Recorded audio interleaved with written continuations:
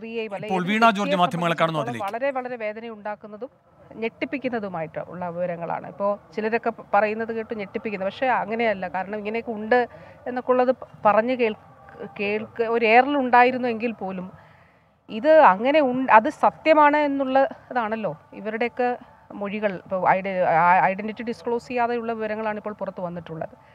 അപ്പോൾ അത് സത്യമാണ് എന്നുള്ളത് നമ്മളെ സംബന്ധിച്ചിടത്തോളം വളരെ ഞെട്ടിക്കുന്ന ഒരു കാര്യമാണ്. സിനിമാ മേഖല സ്ത്രീകളെ സംബന്ധിച്ചിടത്തോളം സുരക്ഷിതമായിട്ടുള്ള തൊഴിലിടമാകണം അതിനുവേണ്ടി സാധ്യമായിട്ടുള്ള എല്ലാ കാര്യങ്ങളും സർക്കാർ ചെയ്യും. സർക്കാർ അതിൽ പ്രതിജ്ഞാബദ്ധമാണ്. പ്രത്യേകിച്ച് ഈ റിപ്പോർട്ടിന്മേലുള്ള ഇതിന്റെ നിയമവശങ്ങൾ കൂടി പരിശോധിച്ചുകൊണ്ട് അതിന്മേലുള്ള നടപടികൾ സ്വീകരിക്കും. ആ നിലയിലാണ് സർക്കാർ ഈ കാര്യങ്ങളെ കാണുന്നത്. അത് ദീർഘകാലാടിസ്ഥാനത്തിലുള്ളവ ആയിട്ടുള്ള ഒട്ടേറെ കാര്യങ്ങളുണ്ട്. ഇപ്പോൾ POSH act prevention of sexual harassment in workplaces. അത് സിനിമാ മേഖലയിൽ നടപ്പിലാകുന്നു എന്നുള്ളത് ഉറപ്പാക്കേണ്ടതായിട്ട് ഉണ്ട്. അപ്പോൾ സിനിമാ മേഖല മറ്റു മേഖലകളിൽ നിന്ന് വ്യത്യസ്തമാണ്.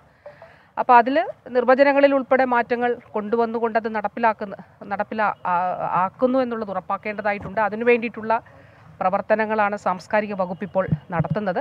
അപ്പോൾ ഇതുൾപ്പെടെ മറ്റു കാര്യങ്ങൾ അതിന്റെ എല്ലാ നിയമപരമായ നിയമവശങ്ങൾ കൂടി പരിശോധിച്ചുകൊണ്ട് അക്കാര്യങ്ങളിലുള്ള നടപടികൾ സർക്കാർ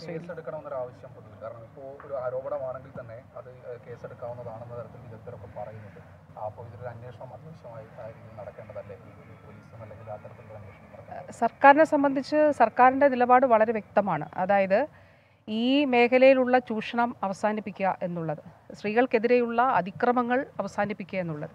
അപ്പം അത് സംബന്ധിച്ച് ഈ പറഞ്ഞ കാര്യം ഉൾപ്പെടെയുള്ളവയിൽ അതിന്റെ നിയമ സാധുത പരിശോധിച്ച് തീർച്ചയായിട്ടും സർക്കാർ ആ കാര്യങ്ങൾ ആ നിലയിൽ തന്നെ ചെയ്യും. അതിന്റെ നിയമസാധുത കൂടി പരിശോധിച്ചുകൊണ്ടായിരിക്കും അത് ചെയ്യുക. നല്ല ആളുകളും ഉണ്ടെന്നാണ് പറഞ്ഞിരിക്കുന്നത്. മോശം ആളുകൾ മാത്രമല്ല നല്ല നടന്മാരും ഉണ്ട് എന്ന് പറഞ്ഞിട്ടുണ്ട്. ആൺ താരങ്ങൾക്ക് പോലും ഇത്തരത്തിലുള്ള ഹരാസ്മെന്റ് നേരിടുന്നു എന്ന് പറയുന്നു അതുപോലെ തന്നെ പ്രതികരിക്കുന്ന ആളുകളെ വീണ്ടും വിലക്കുക ആ, എന്നുള്ള തരത്തിലേക്കൊക്കെ അപ്പോൾ ഇതൊരു ഡബ്ല്യു സി സി ഒക്കെ പറഞ്ഞത് ഏതാണ്ട് ശരിയാണെന്ന് ബോധ്യപ്പെടുന്ന തരത്തിലുള്ള റിപ്പോർട്ട് നാൽപ്പത്തഞ്ചോളം മൊഴികളുണ്ട് എന്ന ആണ് ജസ്റ്റിസ് ഹേമ പറഞ്ഞത്. അതുകൂടാതെ അവരൊരു കാര്യം കൂടി പറഞ്ഞിരിക്കുന്നു.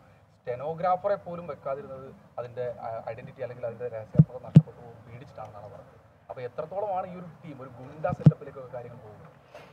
അതുകൊണ്ട് തന്നെയാണ് ഈ വെളിപ്പെടുത്തലുകളും വിവരങ്ങളും അതീവ ഗൗരവമുള്ളതാകുന്നത്. ഇപ്പോ ഇപ്പോ എല്ലാ ആരോഗ്യമന്ത്രി വീണ ജോർജ് ആണ് ഹേമ കമ്മിറ്റി റിപ്പോർട്ടുമായി ബന്ധപ്പെട്ട് ഇപ്പോൾ മാധ്യമങ്ങളോട് സംസാരിക്കുന്നത് റിപ്പോർട്ട് ഞെട്ടിപ്പിക്കുന്നത് എന്നാണ് മന്ത്രിയുടെ പ്രതികരണം.